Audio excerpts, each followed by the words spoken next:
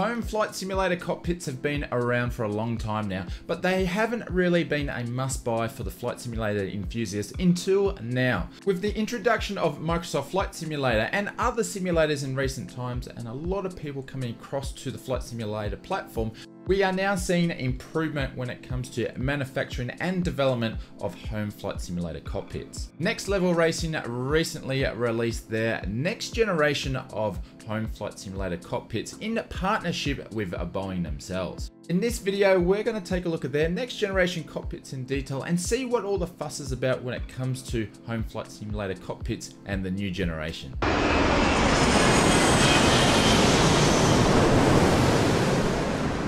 Before we get into the nuts and bolts of this video, if you find value out of the video, please hit that subscribe button as it really helps support me and it keeps the channel from growing and growing. And a little quick disclaimer, Next Level Racing did provide this Boeing copy to me. But with that being said, all my opinions of the video and findings are from a, a enthusiast of flight simulation and then my personal findings. So they're not biased just because these guys sent me uh, the Boeing cockpit. Even though I'm grateful that they've done it, it gives me a chance to showcase uh, to you guys in detail what this has to offer. Next Level Racing founded in 2009 and is a leading simulation brand with its resolutionizing simulation product range. The team focuses on innovation and quality to meet demanding needs of the sim racers, flight simmers and gamers alike. Their products are stocked through major retailers worldwide and some of their commercial customers include NASA, Mercedes-Benz, PlayStation, Northrop Grumman, just to mention a few, and in some of their recent products the Next Level Racing team have partnered with big companies such as Boeing. Recently, a Next Level of Racing released their next generation flight simulator cockpits. These cockpits have been designed specifically for the aviation community in collaboration with Boeing. Today we're going to take a look at the commercial Boeing cockpit, but the range includes military and general flight simulation editions. These flight simulator cockpits are designed for flight simulation, and they work with many different flight simulator hardware. In this video, we aim to showcase as many different hardware types working with this cockpit, including a Thrustmaster, Honeycomb, Turtle Beach, and more, over as many different cockpit configurations as possible.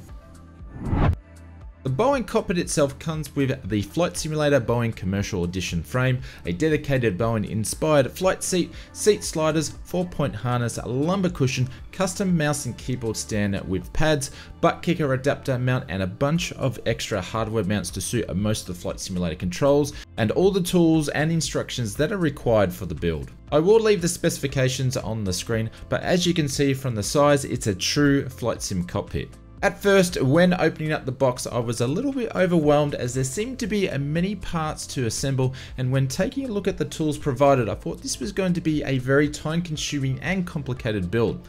Although my thoughts were very short lived as Next Level Racing included a bunch of extra nuts, bolts and accessories from different configurations that you may need and weren't necessarily required for the build. We weren't going to need all these after all for this build and the instructions were very detailed and easy to follow. The build itself took me about 4 hours, but with these types of builds I like to take my time and really focus on uh, taking a look at the product as we go along. You could correctly build this yourself within about 2 or 3 hours. The construction was very intuitive and it would be easy for anyone to build. I would recommend building the cockpit in an environment where you have a bit of space though.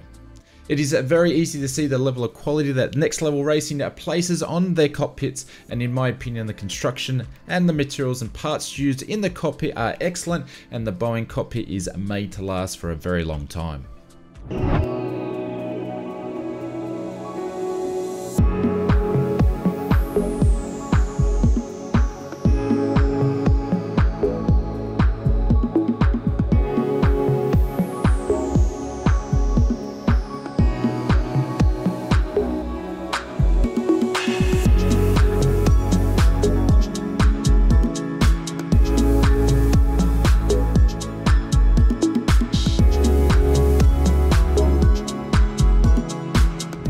For this Boeing setup, I will use the Thrustmaster TPRs, which can be mounted directly to the rudder pedal mount. The pedals can be adjusted forwards and backwards, and the mounting plate can be angled. That being said, this rudder pedal mount is very versatile, and you can mount any sort of rudder pedals to it. The main yoke configuration we are using is the Honeycomb Alpha and the Honeycomb Bravo throttle. The yoke mount can be adjusted to move up and down with the yoke stand as well as angled backwards and forwards.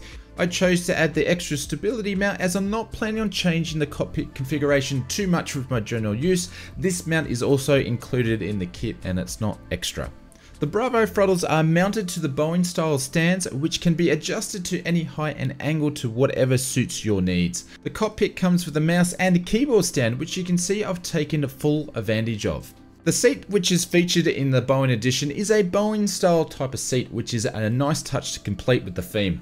I found this seat to be comfortable with short hauls and long hauls and again like a car seat it can be easily adjusted backwards and forwards and even during the cruise you can recline the seat all the way back to your desired position.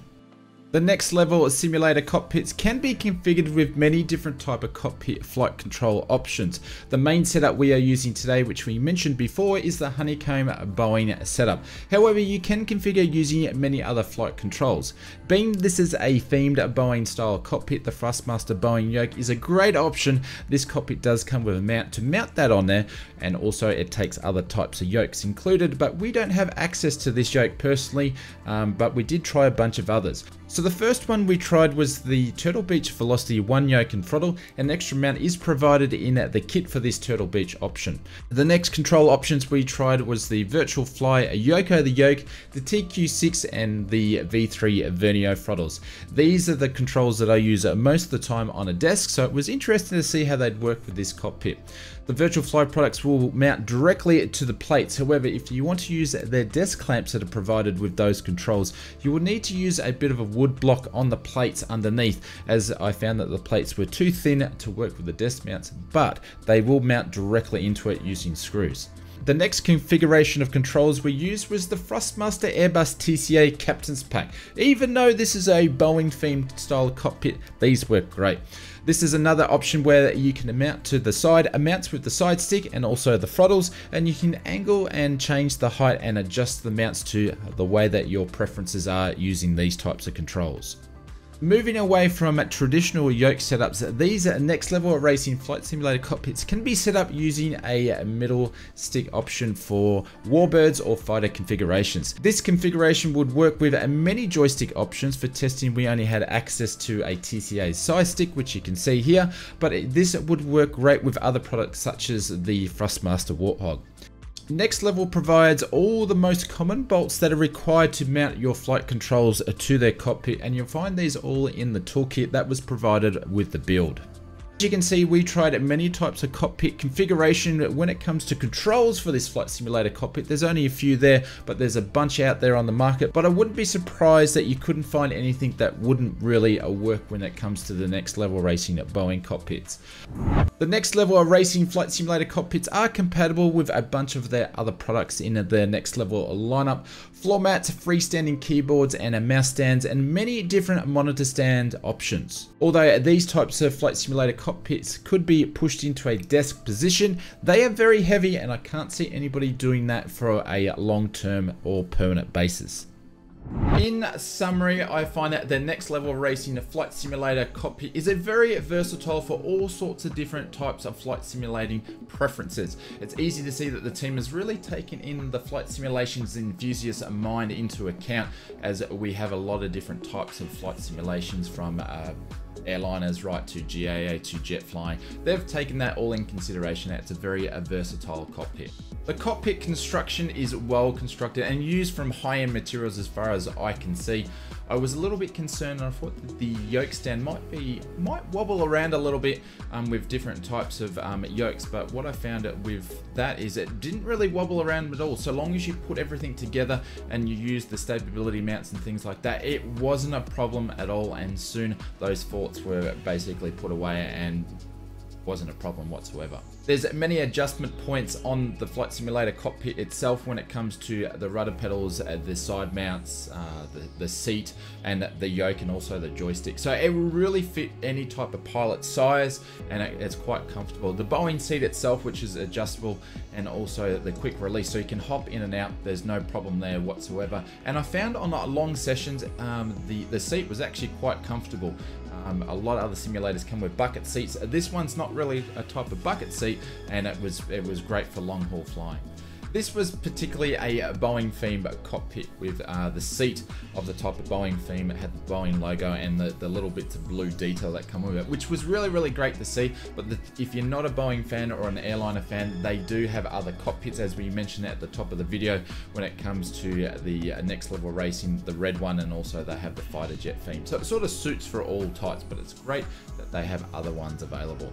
This particular cockpit, in my opinion, is not very portable. It's actually quite heavy, which makes it After we constructed it, I needed myself and someone else just to move it into position to where I was going to use it. So it really deserves its own place in the house where you're going to do your flight simulation. So if you're looking for something portable, yes, you could move it over to um, where your desk is, but it would be just a pain. It really deserves to be in one spot. So all in all, if you are looking for a home flight simulator cockpit, I would recommend considering the next level racing uh, flight simulator uh, cockpits. And actually check them out.